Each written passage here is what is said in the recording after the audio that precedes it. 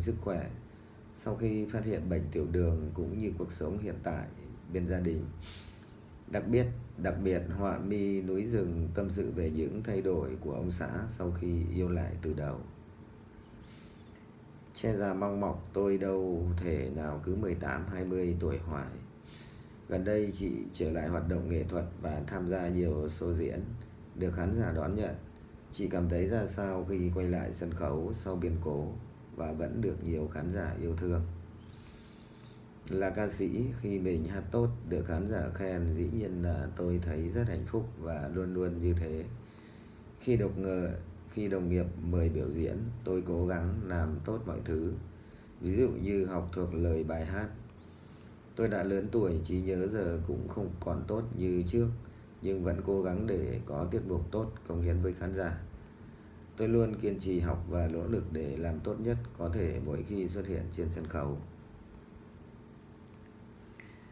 Cảm xúc của chị ra sao nếu như nghe ai đó nhận xét siêu Black hết thời?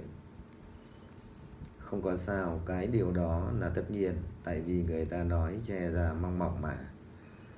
siêu Black đâu thể nào cứ 18, 20 tuổi hoài. Đương nhiên sẽ có nhiều ca sĩ tiếp nối mình. Tuy nhiên tại hiện tại tôi vẫn chưa chấm được ca sĩ trẻ nào đến từ Tây Nguyên. Mặc dù tôi truyền đạt hết kinh nghiệm, nhưng các bạn hát, ngại hát lại những ca khúc mà Silver Lake thể hiện. Khán giả ấn tượng và đóng đinh tên tuổi Silver Lake với nhiều bài hát. Đây cũng có thể là xem là một thành công của Silver Lake sau mấy chục năm ca hát. Lý do gì khiến chị nhận lời làm giám khảo của nhiều cuộc thi âm nhạc? Một trong những điều khiến tôi ngồi ghế nóng là mong muốn truyền kinh nghiệm lại cho các bạn trẻ. Khi làm giám khảo, tôi thường nhắc các bạn là nên nhấn nhá làm sao để tiếp tục trở nên đặc biệt cũng như tôn được chất giọng của mình, tỏa sáng giữa nhiều thí sinh trong cuộc thi.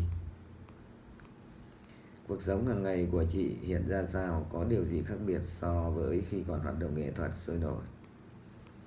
Hiện tại ngoài cá hát thì tôi duy trì việc chăn nuôi như nuôi heo, gà, vịt